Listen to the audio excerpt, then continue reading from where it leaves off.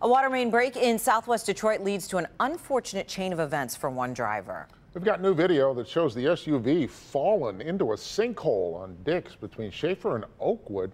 We're told the driver was not hurt. We don't know what caused the water main to break or when it will be fixed.